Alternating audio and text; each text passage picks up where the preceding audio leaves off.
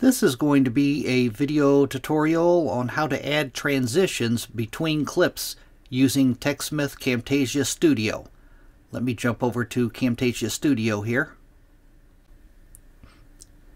Okay, I have Camtasia Studio opened up now and I have inserted three clips into my timeline down here.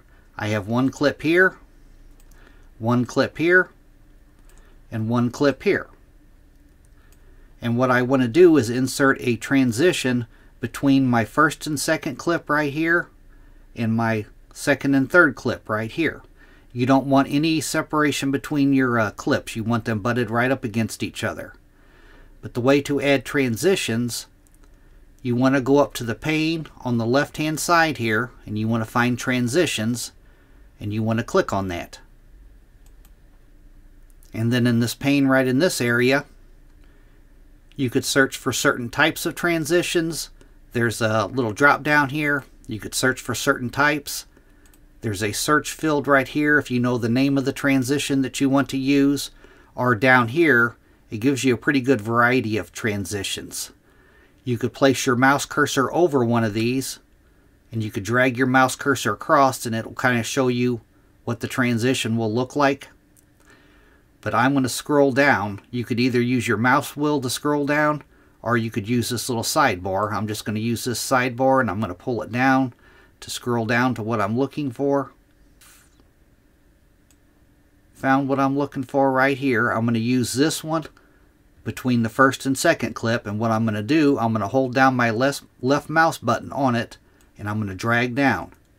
And I'm going to place that right between my first and second uh, clip. Place it right on the middle there. I'm going to let go of my mouse button. And now what I can do, I'm going to slow down this transition to make the transition a little slower. I'm going to pull out.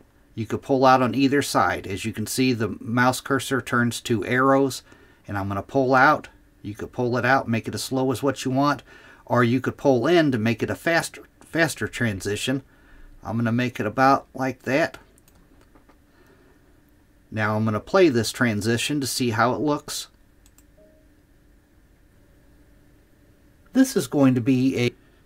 That looks good. Now I'm going to put a transition between my second and third cl clip here.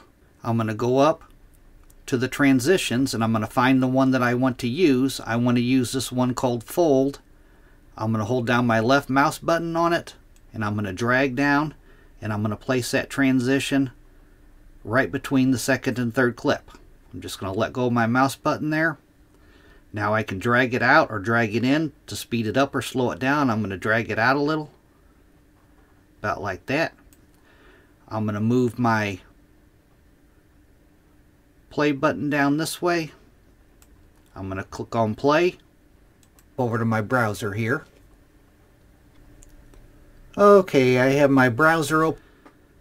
And that is how you add transitions in Camtasia Studio. Thanks for watching.